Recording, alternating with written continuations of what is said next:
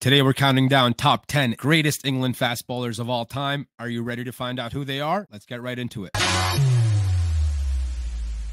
Who are we going with at number 10? Mark Wood express pace, clocked at 93 miles per hour in the in this test series versus West Indies. Aggressive fast bowler, a wicket taker. I would call him an enforcer. 37 test matches, 119 wickets, best bowling 6 for 37, average of 30.42. Just brings an extra dimension to the English attack, raw pace and hostility. If it wasn't really for injury, we could have really seen Mark Wood make more test appearance for England. English camp is managing his workload. They're using him sparingly. Mark Wood has emerged as one of the most exciting fast bowlers in recent English cricket. Known for his blistering pace and ability to consistently bowl above 90 miles per hour, he has brought a new dimension to this current England attack. His aggressive style and short, sharp burst make him a crucial weapon. His standout moments came against the West Indies in 2019, where he claimed 6 for 37, showcasing his capability to lead an attack with lethal precision. Despite struggles with injuries, Wood's impact when fit is undeniable, providing England with a cutting edge that can unsettle the best in the business. So number 10, we have Mark Wood. Let's move on to number nine. Let's see who comes in there. Chris Old, fast, medium, you know, typical English bowler. Hit the deck hard, bowler a real good line and length, swung it, consistent. And back in the late 70s, early 80s, one was a force to record with in English condition. 46 test matches, 143 wickets, best of 7 for 50, average of 28.11. As a youngster, if you really want to really learn a trade, this guy was one of the best bowlers to really copy. Nice, beautiful approach, nice delivery. I really admire Chris Old. Always trouble the West Indies batsmen with his uh, impeccable line and length. Absolutely, man. Chris Old's cricket career in the 1970s was marked by his dual ability as a fast bowler and a capable lower order batsman. On the field, his prowess as a fast bowler was characterized by his sharp, searing bouncers and a potent in swing that often bamboozled batsmen. One of his most memorable performances was, was taking 7 for 50 against Pakistan, highlighting his skill at exploiting favorable conditions and his strategic acumen in changing the course of the innings. Old's robust frame and stamina allowed him to deliver long spells, making him a reliable and fearsome component of England's bowling lineup. One of the greatest England fast bowlers of all time on our top 10, Chris Old. Before we move on to number eight, let's bring on our first quiz question of the evening. First quiz question He played just nine tests for England with a decent batting average of 42.46. He was well known as a coach, having coached England as well as his county, Lancashire. Who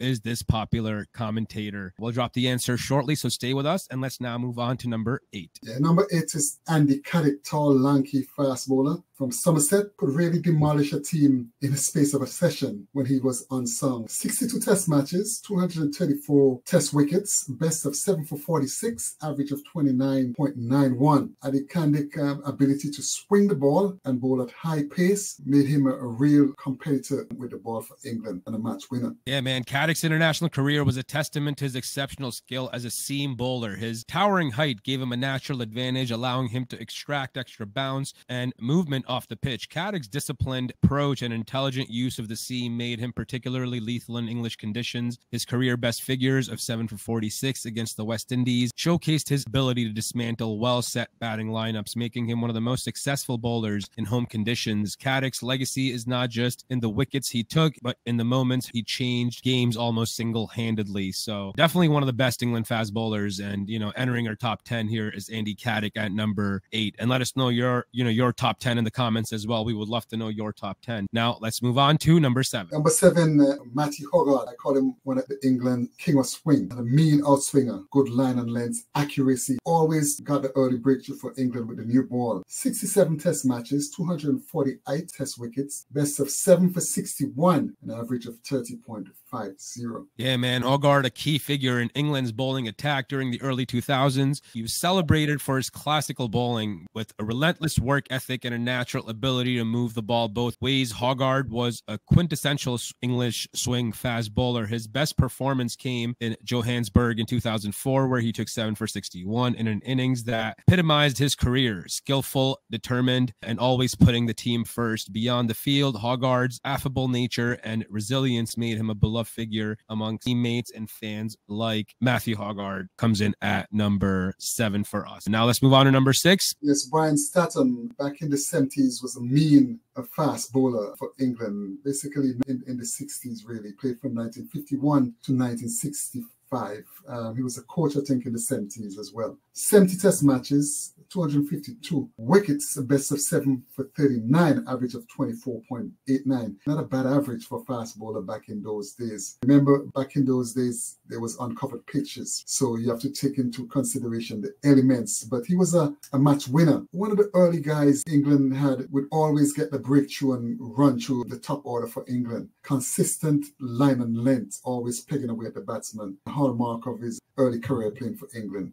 Brian Statham, an ICC Hall of Famer, often paired with Fred Truman, formed one of the most formidable fast bowling partnerships in cricketing history. Known for his accuracy and relentless consistency, Statham was a master at exploiting even the slightest flaw in a batsman's technique. His ability to maintain an immaculate line and length over prolonged periods made him a nightmare for batsmen, and his best figures of 7 for 37 against South Africa were a testament to his precision and his enduring stamina Uh, qualities that helped define his lengthy and successful career. I mean, back in the day, he played 70 test matches, Mark, taking 252 wickets, as you mentioned, 24 average, and nine five wicket hauls. But if we get dig deeper into his first class career, as you guys can see on the screen, 559 first class matches, 2,260 wickets at an average of 16.37 and 123 five wicket hauls. That should tell you something about what this bowler was. Just insane numbers there, Mark, in first class, man. Yes, that's basically unbelievable. 123 five wicket hauls, some very good skill sets. Let us know what you guys think in the comments, you know, of uh, Brian Statham's first class record where he has 2,260 wickets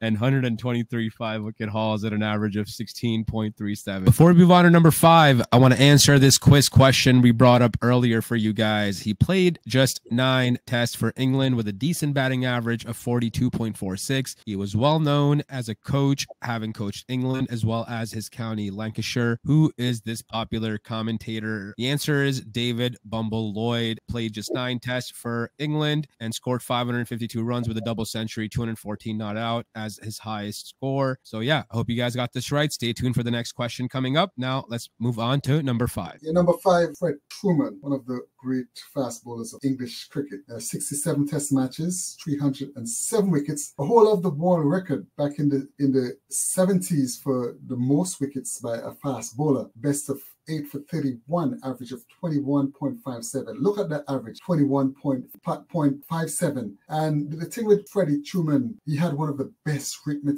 bowling action you could really ask for as a fast bowler. Average of 21.57. Not not much bowlers in Test cricket have that type of average. Fred Truman, you know, famously the first bowler to take 300 Test wickets, combined raw pace with cunning movement, feared and respected in equal measure. Truman's fiery temperament and competitive spirit were his hallmarks. His record breaking spell of 8 for 31 against India was a masterclass in fast bowling, utilizing both pace and swing to devastating effect. Off the field, Truman's charismatic personality and sharp wit made him a popular figure, contributing significantly to his status as a cricketing legend. And again, we're going to look at his, you know, first class stats. Mark has already mentioned his test stats, average of 21.57, 107 wickets at 67 matches, 17 five wicket hauls. That first class record is even better than Brian Statham. I mean, 603 matches, 2,304 wickets, average of 18.29, and 126 five wicket hauls. Another ICC Hall of Famer, just ridiculous numbers. Back in the day, a, a bowler would get 100 wickets in a season in England.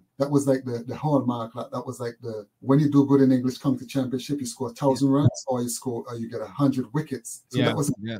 really. So and back in the day, they play more county matches. Nowadays, in county, you have the, the T20, you have the 100, and you have the List A, which is the 50 overs. So, but back in the 60s, 70s, it was just county cricket. Just um, majority of the matches were first class matches, you know. So that's one of the reasons why in the 50s, 60s, 70s, a, a bowler of that kind of um, stature could get so much wickets in first class cricket. Fred Truman, one of the England greatest fast bowlers, comes in at number five for us. So before we move on to number four, I'm going to bring you guys the next quiz question of the evening. You'll see it on our screen here in their county championship match against Middlesex in September 2003. What Pakistani leg spinner took 10 wickets to turn a likely defeat into an improbable seven wicket victory? We'll drop the answer shortly right at the end of the video, so stay tuned. And let's now move on to number four. Yes, number four, Ian Botham, one of the greatest all rounder of all times. You know, had a knack for picking up wickets with a loosener. Sometimes he comes on and it's first over Ian Botham, always get a wicket with his loosener, maybe a half volley or wide out swing or something that caused the batsman into making an error. One of my favorite all-rounders of all time, 102 test matches, 383 test wickets, best of 8 for 34. He demolished West Indies with that 8 for 34. I remember watching that live on TV when he got 8 for 34, um, average of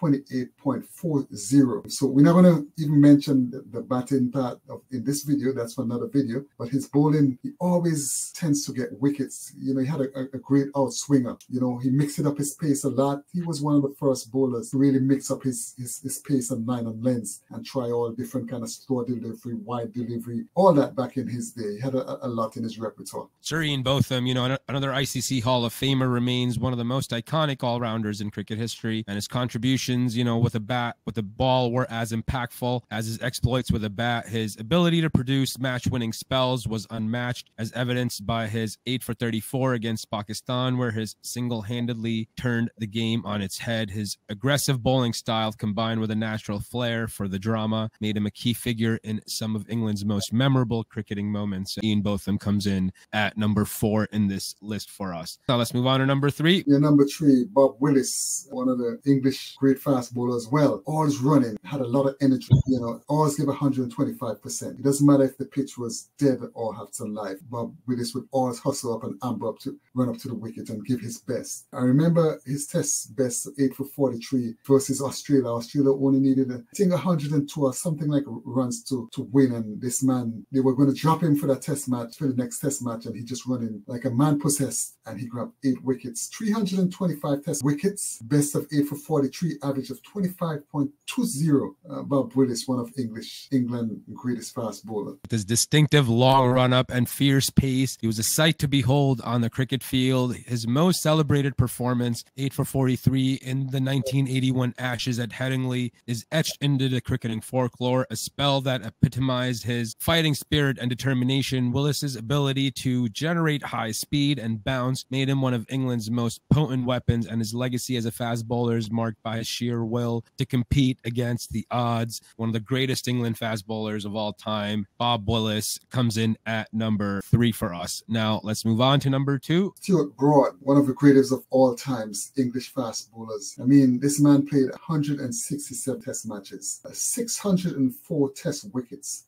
average of average of 27.68, best of 8 for 15. During Stuart Broad illustrious career, he, had the ability to turn a test match with, with, with a spell. Many and many occasions, I, I saw him just wreck the opposition with a, with a six wicket burst, a five wicket burst. You know, anytime he was on a roll, he, he was just unplayable and unstoppable. Stuart Broad has carved out a reputation as a game changer with the ability to produce spells that can alter the course of a match. Within a few deliveries, his remarkable 8 for 15 against Australia in 2015 highlighted his skill at seam and swing, as well as his psychological edge over batsmen. Broad's height allows him to generate disconcerting bounce, making him a constant threat in all conditions. He's one of the greatest England fast bowlers. Stuart Broad comes in at number two for us. Now, before we move on to number one, to, we're going to give you guys the answer to that quiz question we brought up earlier. The quiz question was in their county championship match against Middlesex in September 2003, what Pakistani leg spin bowler took 10 wickets to turn a likely defeat into an improbable seven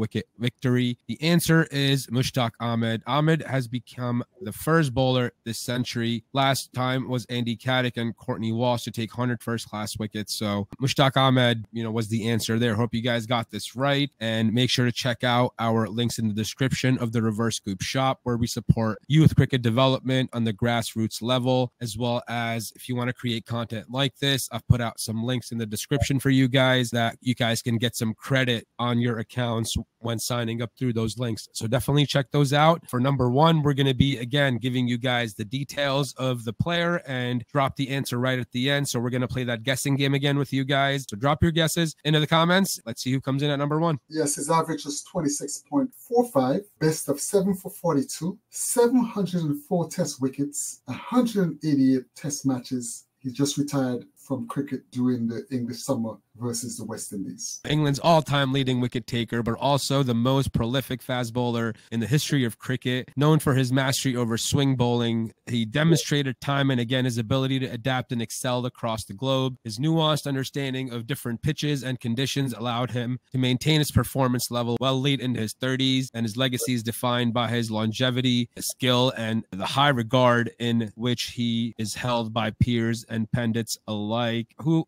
is this greatest English fast bowler of all time, man? Jimmy, Jimmy, Jimmy. Oh, Jimmy. Jimmy Anderson. Jimmy Anderson is the answer. If you haven't checked out our top 20 England batsmen of all time video, you'll find it on the screen right here.